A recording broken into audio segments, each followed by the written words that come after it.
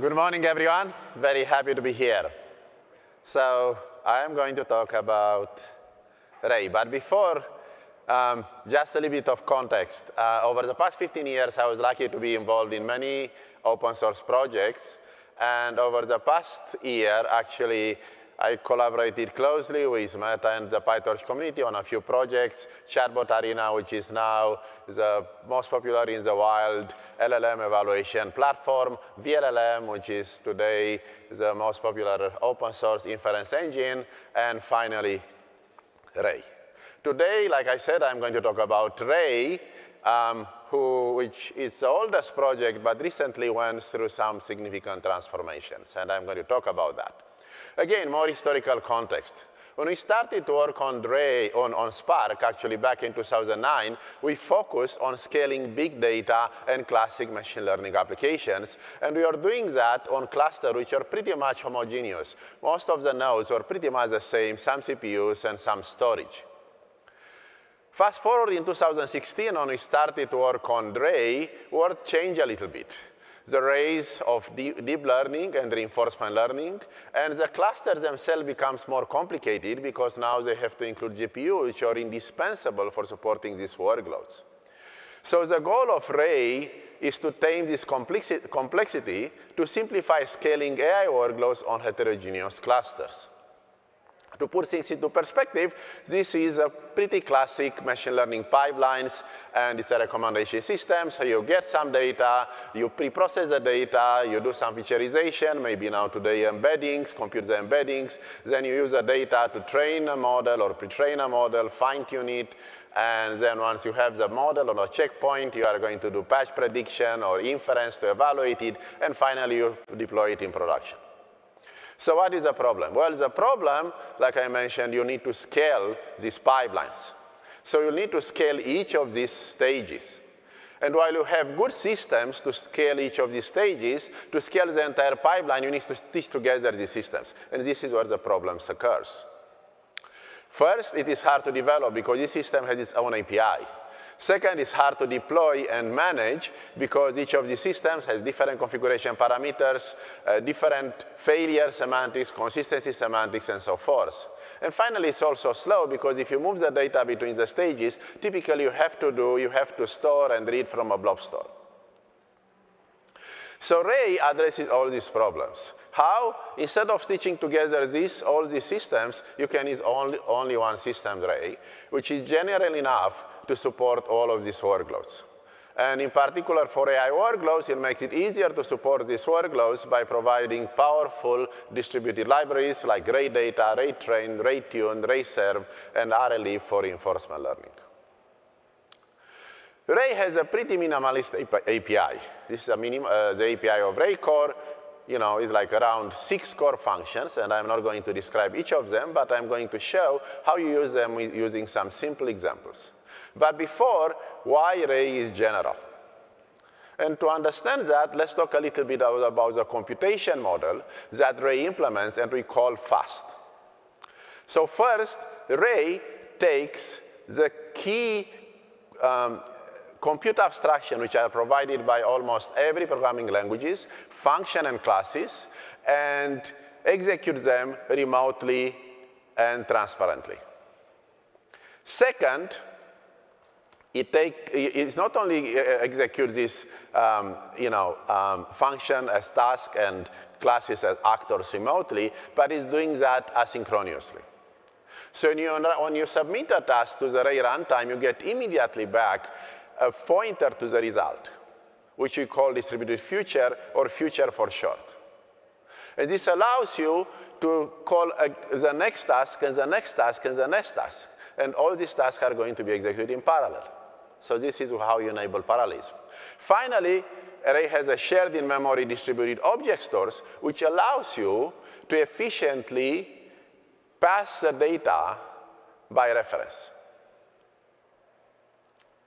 So here is a simple example.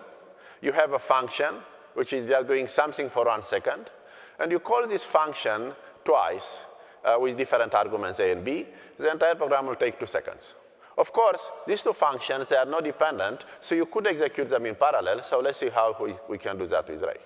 So to do so with Ray, basically we are going to add the a decorator ray.remote to the function, and basically this will tell Ray that it can execute this function remotely, right? And then we are going to add dot .remote suffixes to the invocation of f.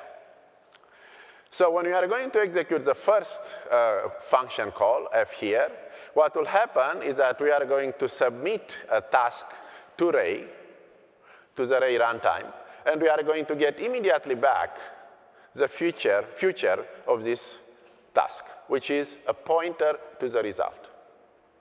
And now immediately we can call the second invocation of f. And the same thing will happen. We are going to get a future of this.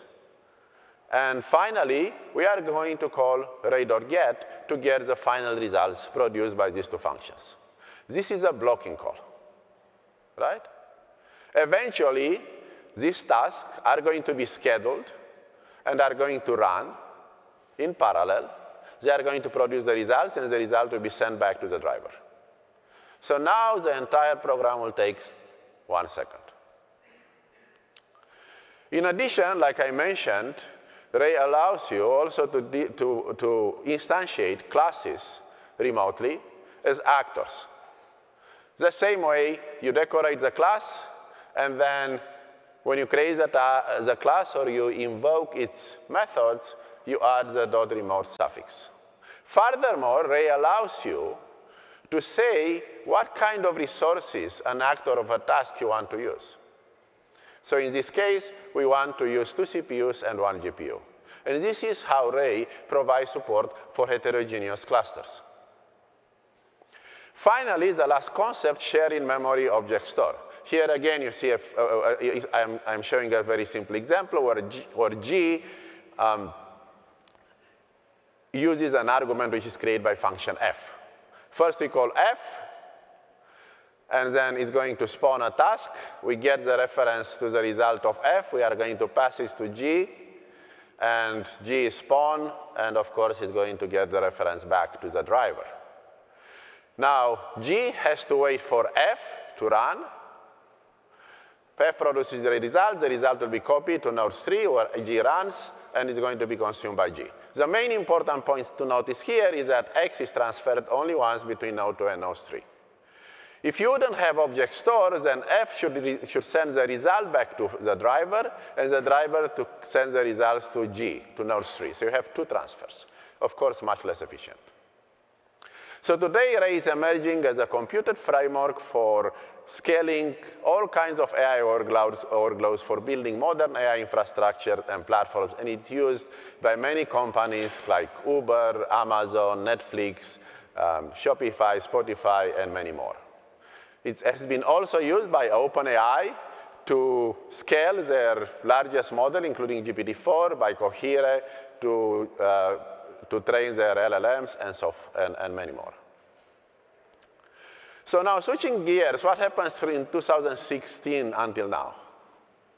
Well, all of you know, generative AI right? Generative AI emerge, so the, uh, the uh, uh, application becomes even more complex. And also the infrastructure becomes even more complex, right? Right now, you no longer have only NVIDIA GPUs, you have TPUs, you have AMD GPUs, uh, and almost every superscaler, Meta including, included, they are, they are uh, having their own accelerators. So we are really witnessing today a transitions from a CPU-centric world to an accelerator-centric world. And while Ray is actually providing support for heterogeneous computing is not enough for this new world. And why is not enough? Because the overhead. Ray is pretty good when you have tasks which are like 10, 10 milliseconds or more. But if the task takes shorter, you, you, you know, the overhead shows up. So what is the overhead? Well, when you invoke a task, you do a, a bunch of RPC calls. You pay the cost of dynamic memory allocation. And it's difficult to efficiently support this peer-to-peer -peer protocol like RDMA and NCCL because it requires upfront resource allocation of all peers to avoid deadlocks. So to illustrate this inefficiency, let's see what happens in Ray today when you try to execute the following simple program. Here you have a trivial class, which is just incrementing a number. And you instantiate this class twice, so you create two actors, and you call these actors serially, right? So um, here you are going to pass an argument of one to the first, uh, to the first actor. When you do that, first the driver has to write the argument in the shared memory object store because this is how Ray is passing the arguments. And then it's going to pass the reference of this argument to the worker, which is going, as you know by now, is going to return the future to its results. This future is going to be passed to the second actor, which is going to return the final, the pointer to the final results. And then finally, in the driver, we are going to call ray.get to get the final results and print it, right? Now, Ray goes to work and start to execute the methods for each uh, actor. A reads one, it's incremented it, it writes the output. B is, do, is doing the same things and the final result 3 is then passed to the driver. So the point to notice here that the driver makes six RPC calls, two on the data plane and four on the control plane, and it also needs to dynamically allocate the memory in the object store for every argument and result. Quite a lot. To address this kind of inefficiency, we are introducing these accelerated dynamic acyclic graphs, or ADAGs. And the goal is to run much smaller tasks efficiently with very low overhead. For instance, if it's 10 milliseconds, you want the overhead to be less than 1%. We also want to be able to do efficient GPU to GPU data transfers with less than 10 microsecond system overhead per operation. So what are ADAGs? You can think about like static graphs with Ray-core-like API, when we allocate resources up front, and then we are going to reuse across multiple executions. That's basically the idea. It's experimental, so please, if you are interested, try it and help us to improve it. So for the previous examples, this is how we are going to, to do things with ADAGs. We are going to declare here uh, a, an ADAG, and this is a simple one. Basically, A gets the input of the ADAG, and its output is then consumed by B. Then we compile this ADAG. By compiling means you allocate all the resources. We create these actors. The actors are going to work, run in a, into a loop to process the ADAG tasks. And we also, we pre-allocate the buffers for the arguments and for the results of, this, of the task in the ADAG, right? And then we execute it, and something similar happens when you execute it. You know, the driver writes uh, the argument in the share ob ob uh, uh, object store, A reads it, increments it, B is doing the same, the final result is 3, and it's going to be sent back to the driver. The point now here is that instead of six RPC calls, we have only two RPC calls, basically writing the argument, to the object store and reading the result, which is optimal. And then there are no dynamic memory allocations. We just use the pre-allocated buffers. Finally, this is about how Ray helps us uh, to optimize the GPU to GPU transfers. Again, what happens today? Remember, all the data in Ray is, is transferred through the object store. So if you want to transfer one tensor from GPU 0 to GPU 1, what will happen is that you first need, to, in, in, uh, you know, under, uh, under the hood, the tensor will be transferred to the shared memory object store, then over the network to the receiver, then transferred to the GPU 1 memory. Okay? So you have a bunch of copies which involve slower memory and a transfer over the slow network. With ADAG, you get rid of all of this, you are going to, in this case, to um, construct a trivial DAG between GPU, GPU 0 and GPU 1. You are going also to provide a hint to say, in this case, that you want the transfer to be happen over NCCL. And as a result, you are going to tensor, the tensor is going to be transferred directly between GPU 0 and GPU 1 over NCCL, which again, in this case, is optimal. As you know, Ray has a very tight integration with the PyTorch ecosystem. They are both Python native. Most training and serving in Ray leverages PyTorch. And with ADAG, we'll expand the workloads we support. We already support pipeline parallelism in VLLM, and we are experimenting with 4D model parallelism for training. See here are some examples of integrations, batch inference. And the main thing to notice here about the batch inference that the pre-processing and post-processing, in this case, happen on the CPUs, on, on the less powerful GPUs if you want. And the inference happens on the powerful GPUs. And by leveraging the parallelisms, you can reduce the cost by 10x compared with running everything on the powerful GPUs and many other workloads like fine-tuning, multimodal search, embedding computation, you name it. For those of you who prefer a hosted version of Ray, Anyscale, the company behind Ray, provides a managed Ray platforms with some bunch of tools to improve your productivity. Um, it's going to improve the performance of your Ray workloads. Uh, it lowers your TCO and provides native observability and obviously support from Ray experts. So in summary, AI workloads are becoming more and more complex. At the same time, the infrastructure is becoming more and more complex. It used to be only distributed. That was complex enough. But now it's very heterogeneous and distributed. So it's huge complexity. The main goal and aim of Ray is to tame this complexity by significantly simplifying scaling AI workloads on these complex infrastructures. Finally, within less than two weeks, we have the Ray Summit here in San Francisco.